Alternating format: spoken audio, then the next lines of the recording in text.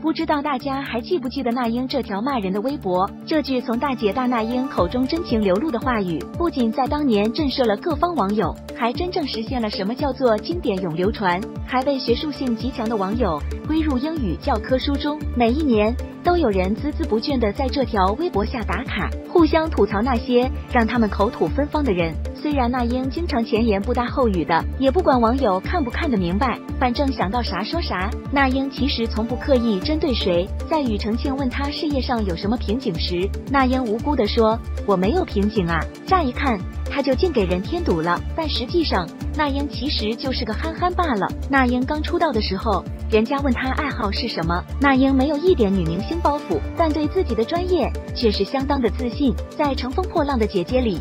姐姐们也慢慢发现那英不好惹的另一面，在学不好舞蹈的时候，那英会躺在地上打滚撒泼；没表现好的时候，那英甚至还跺脚大哭。以前的大姐大风范消耗殆尽，那英跟姐姐们一起玩闹搞怪，疯疯癫癫起来，谁也拉不住。在所有人都以为他对张柏芝有意见的时候，其实背后他最心疼张柏芝了。那英的确不会说话，其实他自己也知道。但正如曾有人问他。五十岁和四十岁有什么区别？那英说：“我四十十八九岁才开始学会思考，以前怎么净做错事呢？就是糊涂。”是啊，虽然那英满身的缺点，但她永远是她，一如既往，从没变过。